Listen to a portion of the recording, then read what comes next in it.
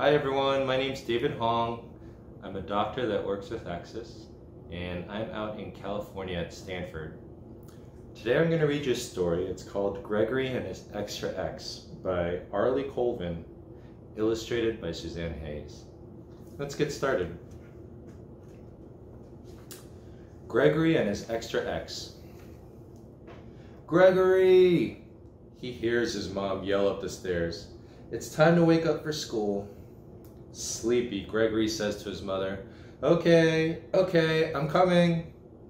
Gregory sits up in bed, stretches and yawns. He has a big day ahead of him. As he stands up, he hears another voice in the hallway. This time it's his sister. Come on, Greg, you're going to make me late again. Gregory leaves his room and heads downstairs. Leave me alone, Megan, I'm awake, he grumbles. Gregory needs to get ready fast. He gobbles down his breakfast cereal and ignores his sister's mean looks from across the table. As he runs back upstairs, his mom yells, Don't forget to brush your teeth. Gregory hates brushing his teeth. Back in his room, it's hard to decide what shirt to wear. The blue one? No, maybe the black one. He sees his model airplanes and he wants to play with them. Greg, come on, his sister yells.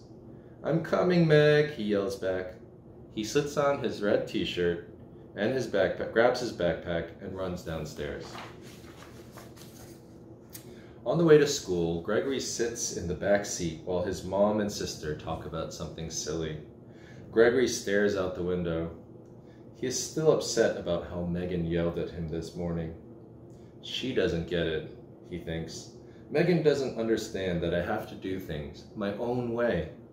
You see, Gregory's a little different. He has an extra X. He has a condition called Klinefelter syndrome, or XXY. It all starts with the genes. These genes are not the genes you wear. These are the ones that run in families. Genes are in every cell of the body.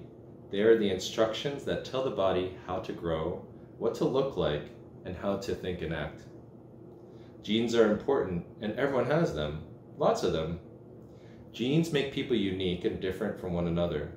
Without genes, people would be just faceless, brainless blobs of goo. In the body, genes come in bundles called chromosomes. A chromosome holds a bundle of genes, just like a book holds a bundle of pages. There are too many genes to have just one chromosome, so people usually have 46 chromosomes to hold all of their genes. Chromosomes and genes are there from the beginning, when a baby is made. Half of the chromosomes come from your mom, and the other half come from your dad. That's why kids look and act a little bit like both of their parents. Usually, people have 46 chromosomes. Two chromosomes, the X and the Y, are different from the rest. It's these X and Y chromosomes that make boys and girls different. Girls have only X chromosomes, but boys have an X chromosome and a Y chromosome. It's that Y chromosome that makes boys look like boys. Gregory is a boy who is a little different.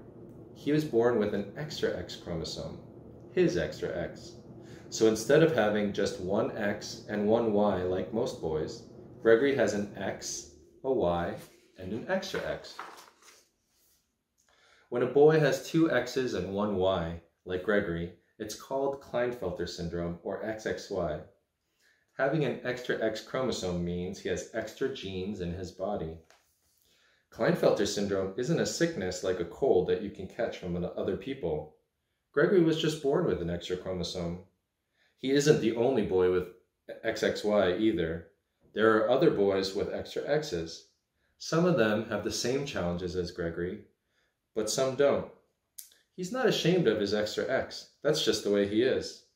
Gregory was made with blonde hair, green eyes, smelly feet, and an extra X. No one can tell he has an extra X chromosome just by looking at him. He looks just like other boys, but inside his brain, sometimes his extra X chromosome makes him feel different. Sometimes having an extra X can make things harder for him, like reading or schoolwork. That's what Megan doesn't understand. She doesn't get that Gregory is different. He has an extra X, and that means he has to do things a different way sometimes. Gregory's mom drives up to his school. He hops out of the car and sees other boys in his class. See you later, Mom. He catches up with the two boys, Sam and Johnny. They walk to class and talk about their weekends. Sam went to the zoo and saw a big giraffe. The boys talk and laugh together. Gregory wants to tell Sam about the time he went to the zoo, but before he can put the words together, the boys are talking about something else. Oh well, Gregory listens and laughs along with his friends. The boys go to their classroom and find their seats. Gregory's teacher is named Ms. Adams. Gregory sometimes needs extra help because it's harder for him to learn and remember things. She gives the class 10 minutes to write a paragraph about their weekends. Gregory gets frustrated. He can't decide what to write about or how to start. Before he knows it, the time is up and his page is blank. Gregory is smart and can learn just like other kids, but sometimes he has to work a little harder because of his extra X. After lunch, Gregory leaves his class to see his speech therapist. His speech therapist helps him learn to speak more easily. Sometimes he can't think of the word he wants to say, or people talk too fast and he can't keep up. Other times, it's like his words get caught in his brain, like when he wanted to talk about the zoo. In speech therapy, Gregory saying the, practices saying these words. The more he practices, the better he gets. Gregory meets with an occupational therapist at school too. Occupational therapy helps Greg practice using his hands to do things that are hard for him, like handwriting and buttoning. He likes to work on his drawings. Gregory imagines all sorts of things to draw. He is the best artist in his whole class, and the more he practices, the better he gets. The school bell rings. Recess! He likes taking a break from class and being outside. He and his friends go to the usual spot where they play on the playground. Gregory looks up and sees boys playing tag, and they're running towards him. Nervous and breathing hard, Gregory is glad when the boys swerve just before running into him. Hey, watch it, Johnny yells. It takes a while for Gregory to calm down. He feels overwhelmed by the noise of everyone running around. He takes a moment to close his eyes and catch his breath. That's better. Ring. Ah, oh, man, back to class, guys, his friend Sam says. The second day, the second part of the day is harder for Gregory. His extra X sometimes makes it difficult for him to concentrate. He takes medication to help him pay attention, but it's tough at the end of the day. Gregory tries to listen to his teacher. It is easier to pay attention when they are taught interesting things or get to use the computer. Today, the teacher is talking about something boring he looks around and thinks about something else. The bell finally rings, and Gregory snaps back to reality. See you tomorrow, class, Miss Adams says, as the students get their stuff to go home. After school, Gregory is tired, but happy school is over. This is his favorite part of the day. It's time for his golf lesson. To play golf, he stands and swings the golf club with his arms. When he does it right, the ball flies really far. He's getting better at golf practice, and his arms are getting stronger too. A lot of kids in Gregory's class go to soccer or basketball practice after school. Gregory played on a soccer team once, but he didn't like all the running back and forth or bumping into people. He enjoys golf so much more. It's a different way of doing things, but it works for Gregory. Tired from golf practice, Gregory walks to the parking lot. His mom's picking him up to go to his doctor's office. He sees her waving from her car. He smiles and waves back. Hi, Mom, Gregory says. She starts the car and says, Hi, honey, how was your day? Gregory says, Good. She asks him questions about his day, but he has trouble remembering the details. When he looks inside his backpack, he finds the homework he forgot to turn in. Uh-oh. When Gregory and his mom get to the doctor's office, they sit in the waiting room. Gregory stares at the paintings on the wall. These paintings are so ugly, he tells his mom with a laugh. Gregory, don't be rude, she says, but she laughs too.